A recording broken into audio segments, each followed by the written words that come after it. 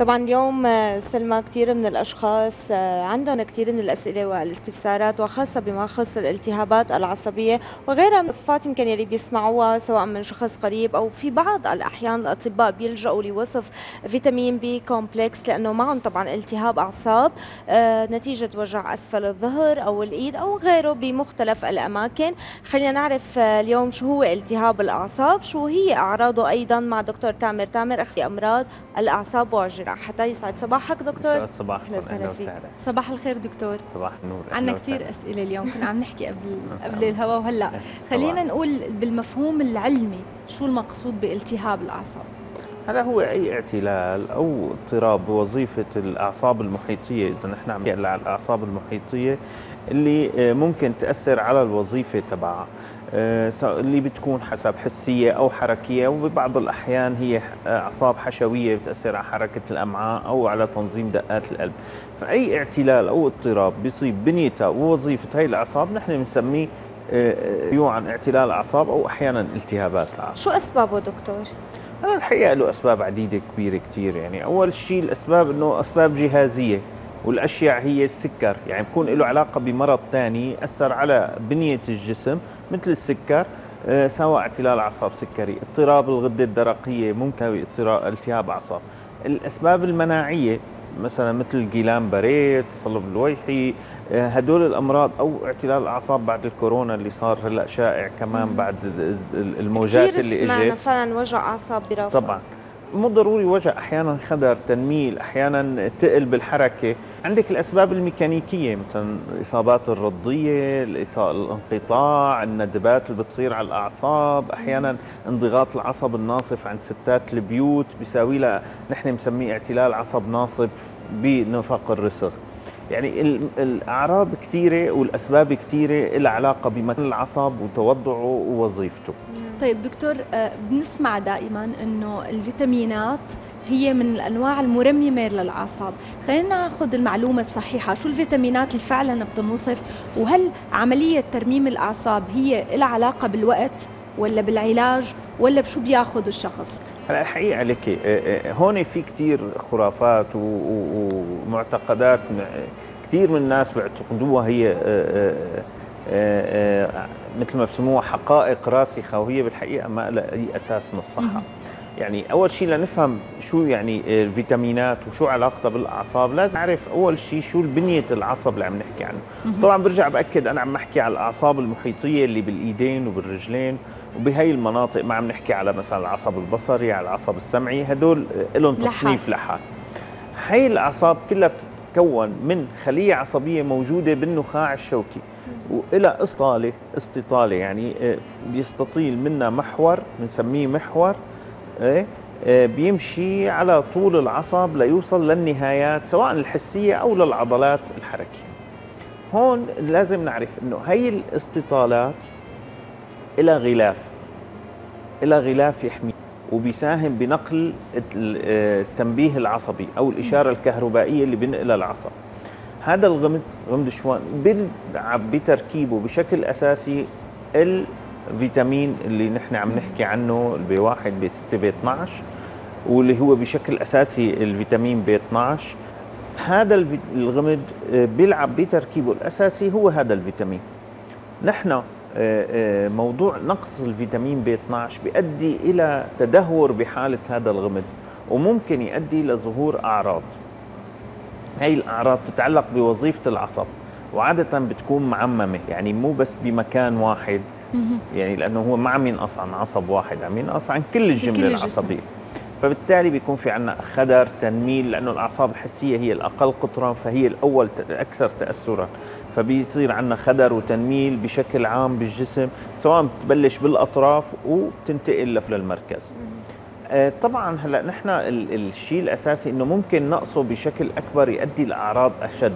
بس عادة نحن بننتبه على موضوع نقص ال B 12 من أعراض ثانية بيترافق معه فقر الدم عادة بيكون معه مشاكل هضمية لحتى يكون في نقص بال B 12 ما بينقص هيك فجأة. طبعا هون الموضوع هذا بيكون راجعنا المريض وبلشنا نحن بأخذ ال B 12 في حال دكتور كان في نقص مفرط ودخلنا بمراحل الخطورة بنقص فيتامين بي 12 شو هي العوارض يلي ممكن تظهر على الشخص؟ قلنا أول شيء ممكن نشوف العوارض فقر الدم اللي موجودة سواء من رابات تسرع بالقلب سواء بالصداع الدوار. اثنين موضوع الجملة العصبية المركزية اللي هي ممكن تشوفي فيها الخدر والتنميل واحيانا آه، آه، فقدان الشهية. ثلاثة عندك كمان بيصير عندنا اضطرابات حركية ضعف بالأطراف ضعف بحركة معينة. بعدين ممكن تنصاب الجملة العصبية المركزية بالحالات النقص الشديدة. تلاقي المريض عنده رنح دوار عدم قدرة على التوازن والمشي. وبعدها بالأيام بعدها إذا تطورت الحالة بشكل أشد ممكن نشوف بلش يتدهور وعي المريض وعادة ما بنوصل لهي المراحل لأنه بينكشف بالمراحل الأولى. الحقيقة أنا بدي نرك على نقطة إنه نحن كثير من الناس وهي هي الحقائق المغلوطة بيعتبر إنه إذا مثلا وجعه ظهره فهو عنده نقص B 12 طبعا ما لها علاقة. okay؟ عند وجعته رقبته فهو عنده نقص بال B 12 بيروح بياخذ له إبرة نيوروبيون بدون أي است... بيستشير أخوه أو جاره. جاره. آه مثلا حدا بيجي لعندي والله أنا بعد ما بشتغل سبع ثمان ساعات بإيدي في شوية وجع بإيدي. شو رأيك أخذ شوية إبر نيوروبيون بقوي أعصابي؟ أو لاعب عم يلعب بنادي آه، رياضي ليبني عضلاته إنه شو رأيك؟ والله أنا عندي حاسس عصبي ضعيف. هو قصده إنه العضلة ما عم تاخذ وزن معه. إيه شو رأيك أخذ B 12 لاقوي عضلاتي؟ أو قوي العصب تبعي؟ برجع بقول ال B 12 والفيتامينات والمعادن بشكل عام فائدتها بإنه تكون ضمن المستويات الطبيعية. نعم. الزيادة بتكون مضرة غير فائدة. طيب دكتور هون الفيصل خلينا نحكي عن شوية تحاليل ممكن يعملوها الأشخاص لحتى يبين معنا الفرق. يعني اليوم أنا ممكن يكون عندي انقراص فقرات ممكن يكون عندي مشكلة بالغضاريف كلياتهم بالعموم بيعطوا وجع وآلام. ممكن الواحد ما يعرف إنه هذا الألم مثل ما أنت قلت هو بسبب فيتامين ولا بسبب الأعصاب. شو التحاليل لازم يعملها الشخص وإمتى لازم يبلش؟ يعني نحن دائما بنوصل بس نصير كبار بالسن ببلشوا يدوروا على المفاصل وعلى الالتهابات ويعملوا تحاليل. قبل بيعتبروا لا ما فينا شيء. طيب أنا لحتى ننسق الأفكار لأنه في كثير أفكار انذكرت هلأ وصارت في هيك مثل تداخل فيها. موضوع آلام العمود القطني أو آلام الظهر أو أي آلام لازم نعرف إنه نقص الفيتامين ما بيعمل آلام بالظهر. مو العرض الأساسي له آلام. العرض الأساسي اضطراب بوظيفة العصب اللي مثلا خدر تنميل اللي هو الأشياء. إيه؟ مو الألم. الألم دليل إنه في آلية مرضية مؤذية. هلأ قد يكون ببعض المراحل إنه يكون الخدر والتنميل مؤلم.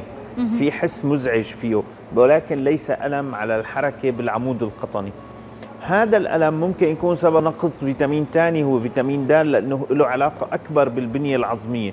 وآلام العمود القطني بمعظمها بتكون سببها مشكلة بالبنية العظمية للعمود القطني وليس بالمشكلة بالعصب نفسه وليس مرض بالعصب نفسه.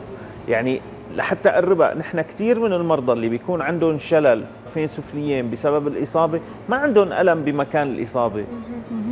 بالرغم إنه العصب محروق مثلا أو مقطوع بس ما عندهم ألم بمكان الإصابة. أه، وصلت الفكرة. نحن هون نقول إنه لما بيكون في عندنا أعراض آه، آلام أو خدر أو تنميل افضل الفحص السريري. بيضل الطبيب اللي عنده آه، آه، بيفحص المريض ممكن يتوجه وين مصدر الألم وشو سبب الألم وفعلا المريض بأي تصنيف ممكن نحطه. هل هو آلام عظمية؟ هل هو آلام بالأربطة والأوتار والعضلات؟ أم هو مشكلة عصبية المفروض آه، نحن نبحث وراها إذا في نقص بفيتامينات المغذية للأعصاب؟ آه، دكتور مثل ما تفضلت وحكيت آه، أخذ الفيتامينات بشكل عشوائي هو شيء له مضار كثير سلبية مثل نقصها تماما. لحدا يفكر إنه الزيادة هي ممكن تحمينا. إذا بنحكي عن الوقاية كيف نحن بنقدر نحمي حالنا؟ كيف كل قد إيه ممكن نروح نعمل فحوصات دورية وتحاليل؟ هلا الحقيقة لك فحص الفيتامينات بشكل عام هو آه، فحص مكلف. حقيقة يعني هو مكلف حتى في الدول المتقدمة. ما في عندهم شيء اسمه سكرين أو فحص شامل لأنه نحن نعمل فحص ب 12 ولا فحص دال ولا فحص مغنيسيوم ولا فحص. مشان هون بيجي بيلعب دور الأساسي ونحن عم نحكي على أنظمة طبية متطورة بالعالم. بيجي المشكلة الأساسية هي الفحص السريري. إنه نحن بنقعد مع المريض نفهم شو المشكلة وحتى لو ما كان مريض. آه، قد إيه فيه قد فيه جسمه ينجز مهام. قديش فيه عم يقدر ينام؟ في ارتباط بالموضوع النفسي تبعه ولا لا؟ في مشاكل نفسية ولا لا؟ تتوافق مع آه، آه، طبيعة حياته يعني في أحيانا في ناس عندهم مشاكل نفسية ما بتتوافق مع المشا... مع الطبيعة الاجتماعية والبيئية اللي عايش فيها. فهون لازم ندور إذا فعلا في مشكلة عضوية عم تساوي هي القصص. هون بنرجع بقى بنساوي بنفكر في موضوع الفيتامينات. تشنج العضلات الشديد ما له مبرر هذا ممكن يدلنا إنه في نقص مغنيسيوم مثلا. هون فينا نحن آه، آه، نعمل فحص المغنيسيوم. مشاكل ال B 12 لما بنشوف بعض مشاكل البشره طبعا في كثير ناس حتى عنا بالعيادة ما بينتبهوا إنه أنا ليش عم إنه أنا مثلا ظهري عم يوجعني ليش الدكتور عم يرفع عن رجلي ليشوف شو في هون؟ لا أنا هون بدنا نشوف البشره حتى طريقة الأشعار الموجودة إذا في عندها نقص تغذية ونقص بالعصب وفي نقص ب 12 بتلاقي في هي المنطقة فيها جفاف فيها بتلاقي حتى نمو الأشعار آه، ضعيف الجلد بيكون رقيق. هي نتيجة نقص اغتذاء العصب لأنه العصب لما بينقطع عن منطقة بتنقص ترويته فالموضوع بنرجع للأساس إنه الموضوع ما عشوائي. ما بصير ناخذ الفيتامينات بشكل عشوائي ولا حتى نعمل لها فحص عشوائي ما ضروري. لما بيكون في أسباب معينة وأعراض معينة أو من شك في أطباء ممكن يعملوا فحص ويواجهونا هل هو ضروري؟ ممكن نحن نعمله لنطمن أو لا. فينا ناخذ مثلا جرعات عامة ونحافظ عليها بشكل كامل. نعم. آه كمان دكتور خلينا نحكي اليوم بعض الالتهابات آه مثل ما حضرتك حكيت بالبداية بتكون ناجمة إما لأسباب عضوية ممكن أشخاص يكونوا متعرضين لعمل جراحي أو صاير معهم مشاكل أو ندوبات. عمل كلمة ترميم العصب دائما بيقولوا في شهور. هي مانا بشهر أو بيوم بيومين بثلاثة بأسبوع. تاخذ شهور. خلينا نحكي قديش بده العصب ليترمم. وقد لازم الشخص شو في شغلات خلينا ونمط الحياة بالعلاج الفيزيائي. قد هدول ممكن يلعبوا دور يساعدوا عملية الترميم. طبعا هلأ هون يعني أنت فتحتي قصة كثير آه، عليها شجون مثل ما بيقولوا. أه لحتى أشرح لك شو القصة لأنه كثير الناس ما ما بتعرف. هي مفتكرة إنه العصب هو مثل كبل الكهرباء. قطع طب نوصله. لا أنا بدي أرجع على أول شيء قلته. العصب نفسه العصب اللي مارق هون هو خليته الأساسية هون. فلما عم يتعرض للتخريب هون فاللي عم يتعرض للتخريب وينقطع هو الغمد تبعه. الألياف هو عبارة عن غمد وكل عصب في حواليه غمد وكل مجموعة ألياف عصبية في حواليهم غمد وكل مجموعة من هدول المجموعات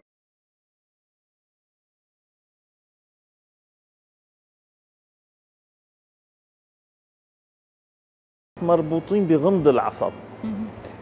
بس كل خلية من هدول الخلايا سواء العصب كان حسي أو حركي عم ينقل الإحساس أو عم يعطي أوامر للحركة بطريق معين. ومارق من هون واصل لهون لنقط معينة. هلأ نحن لما بنقطع هذا الكبل الإنسان لحديت هلأ لحديت هلأ مبدأ الجراحة الترميمية له إنه نحن نوصل الغمد لبعضه وترجع استطاله من هون توصل لهون لمنطقتها وتمر بالطريق تبعها. مع الزمن وبالجراحه المجهرية انتقلنا لمرحلة انه نحن مو نوصل الغمد العام. صرنا نحاول نوصل غمد الألياف تحت المجهر. مشكلتنا انه هي المناطق محل ما عم نحط القطب بصير في ندب. تمام. ندبة مثل أي ندبة جرح تعملي. طبعا. هي بتمنع الاستطالة انه تمرق بهي المكان. واحيانا بالرغم انه لا بنوصل والأمور بتكون آه تمام آه نمو الاستطاله من هون له ياخذ شهور. واحد ملي كل يوم. فأنت بدك ليطول سنتي من هون لهون بدك 10 أيام. تقريبا طبعا يعني مو مو بالدقة نفسها. بس عم نقرب الأرقام للسهولة. اثنين إنه بعد ما يوصل للمنطقة وتكون الطرق معبدة لتمرق الاستطاله بدنا الاستطاله الحسية تمرق مع الحسية. والحركية تمرق مع الحركية مو هي تمرق هون وهي تمرق هنيك وهي لسه ما تحرك ما تحكمنا فيها بشكل كامل. مشان هيك بيكون نسب نجاح ترميم العصب بالجراحات منخفضة. 40 50% 60 70% في أحسن الحالات وبالأعصاب حيدة يعني مثلا عصب حسي فقط أو عصب بمعظمه حسي فهذا بينجح. عصب بمعظمه حركي هذا بينجح. هي الأمور مترافقة مع تغذية مع علاج فيزيائي لأنه ليش؟ نحن إذا بدنا ننتظر لحتى تمرق السيل أو الاستطالة العصبية من المركز للمحيط نحن قلنا سنتي بالعشرة أيام يعني 3 سنتي بالشهر وهكذا. فنحن لتوصل لهون ممكن تحتاج خمسة اشهر وست اشهر بهي وإذا وصلت صح وممكن ما وصلت صح نرجع نعيد الأمور. نحن إذا منجبصن إيد الإنسان أسابيع ومنفكها بتلاقيها بلشت تضمر لأنه ما في حركة على العضلة. صح. العلاج الفيزيائي بيلعب دوره هون. إنه نحن العضلة تضل عم تتحرك. عم تتحرك والألياف فيها عم تبنى بالرغم من إنه ما عم تتلقى تعصيب منشان لما توصل الإشارة الكهربائية ما تكون العضلة ليفه وضامرة وميتة. ما بنعود نستفيد منها. هون بدي أسألك دكتور إنه أوقات بتكون الإصابة لطفل فدائما نحن بنسمع إنه الجسم بيرمم نفسه أكثر لما بتكون الإصابة لطفل أكثر من شخص كبير. أوقات الطفل بيرفض العلاج الفيزيائي بشكل كامل. هون ممكن يرجع يرمم نفسه العصب إذا بدنا نقول اللي بيخص هذا الطفل أو لا. طبعا هو السؤال ممكن نجاوب عليه ببساطة طبعا أكيد لأنه الطفل عنده الأنسجة لسه عندها بسموها المواد المؤهبة أو المواد اللي بيفرزها الجسم لتأهب إعادة البناء أو انقسام الخلايا بشكل أكبر بكثير من البالغ والمتقدمين بالعمر.